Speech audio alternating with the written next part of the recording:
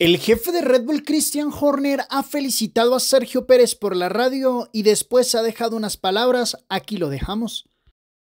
Yeah, well done, Checo. That was a, uh, a decent drive today. Good recovery. Yeah. Yeah. Can't wait to, to get back to the form the whole team deserves, guys. Thank you. Russell, Tsunoda, Stroll. What happened to Max? Uh, Max and Lewis countered each other at turn one. Esta ha sido la conversación que ha dejado Christian Horner con Sergio Pérez, primeramente felicitándole, diciéndole que muy bien hecho, que la carrera había estado muy bien, que buena recuperación. Después de esto, Sergio Pérez le agradece y también le agradece a todo el equipo, un gran gesto. Ya en las declaraciones que ha dejado para rueda de prensa, Christian Horner dice, fue una carrera fuerte de Sergio Pérez.